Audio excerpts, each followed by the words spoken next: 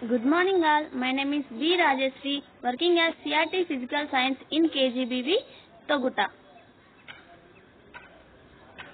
Dear children, today our topic is reaction of hydrochloric acid with zinc. To know about the reaction of hydrochloric acid with zinc, we have to do an activity. For that activity, the required materials are test tube, test tube stand, cork, candle, dilute HCl, zinc granules, soap water, glass straw and delivery tube. See here, we can observe a picture on the screen. See, we have to arrange these all materials as shown in the screen, as shown in the diagram. See here, what is the procedure means? The procedure is First, we have to take a clean and dry test tube, add zinc granules in it. Now pour 10 ml of dilute HCl in the test tube. Next, what we have to do means, we have to close the mouth of test tube with cork which has a glass delivery tube. See children, what will happen next? What do you think what will happen next?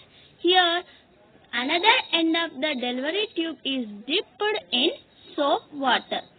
After some time what we observe means the reaction takes place in the test tube. We observe the gas bubbles are evolved through the soap water. What we observe here? Here we observe the gas bubbles are evolved through the soap water. So, do you know which gas is evolved here? Do you know? Which gas is evolved here? We don't know. That's why what we have to do? We have to test the gas which is evolved here. So for that what we have to do? Bring a burning candle near the gas filled bubble. What will happen if we bring a burning candle near the gas filled bubble? What will happen means burning candle is shown into the mouth of the test tube and it put down with pop sound which indicate presence of hydrogen gas. Means what we have to do? The burning candle we have to keep near the gas bubbles evolved from the soap water. What happened? The bubble, what happened? The candle, gi- candle is put off by giving pop sound which is indicating the presence of hydrogen gas. Which gas is evolved here? Hydrogen gas. How can we test that gas here? By bringing a burning candle near the gas bubbles.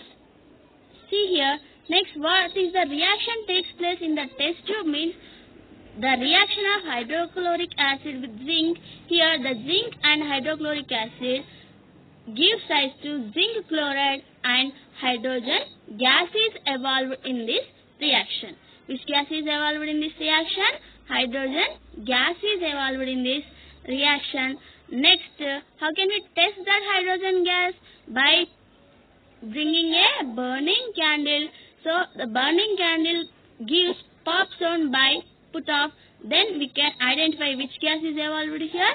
Hydrogen gas. Next, the general reaction of metals with an acid as follows.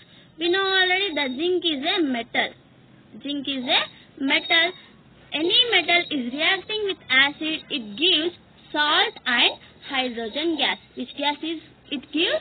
Hydrogen gas. The general reaction is metal plus acid gives rise to salt plus hydrogen. Thank you. Pananda.